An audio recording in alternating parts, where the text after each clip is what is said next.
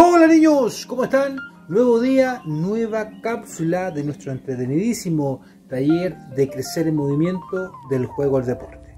El día de hoy desarrollaremos una capacidad física condicionante que lleva por nombre la coordinación.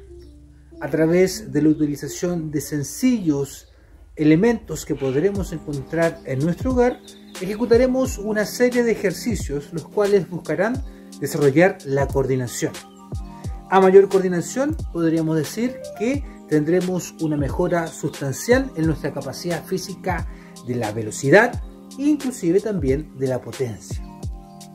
Pongan mucha atención para que puedan reunir los materiales y también obviamente seguir los ejercicios que describo en este video. Recuerda mantenerte activo durante esta pandemia. A mayor actividad física, mejor nuestra salud. Y como dice el dicho, Mente sana en cuerpo sano. Los implementos a utilizar el día de hoy son cinta y tijeras. Con estos simples implementos crearemos un cuadrado en el piso.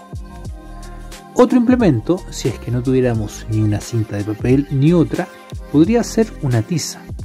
Obviamente dibujaríamos la misma figura geométrica de unas dimensiones de 40 por 40 centímetros.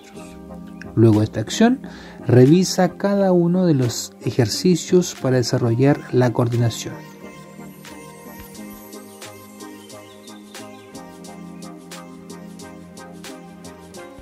Repite cada uno de estos ejercicios por un minuto como mínimo.